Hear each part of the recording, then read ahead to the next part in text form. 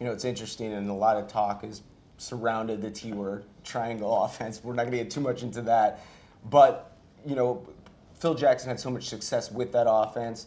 You ran a pretty up tempo style there, and maybe it was due to the personnel you had in Phoenix.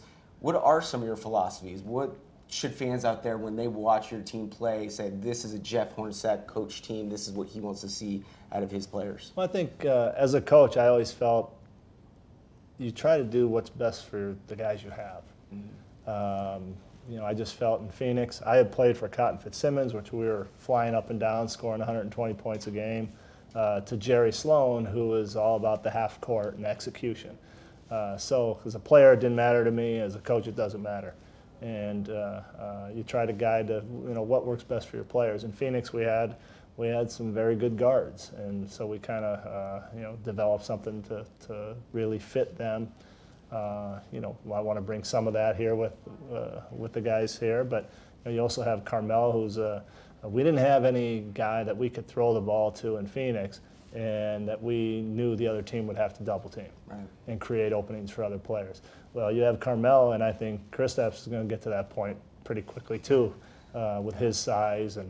Uh, so there's there's a lot more options uh, uh, to do things, and and we're going to find that balance between running, you know, aspects aspects of the triangle. You know, and that's why I laugh, and I think that's yeah. why Phil we got along so well because uh, when we did talk about that, uh, things that I would like to have done, you know, from our offense in Phoenix, can fit right into the, the, the you know the triangle.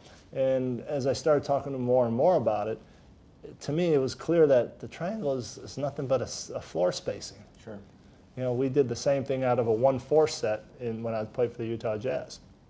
Uh, uh, it's all on reads. If you pass it to this guy, then you know this happens. If you pass it to that guy, that happens.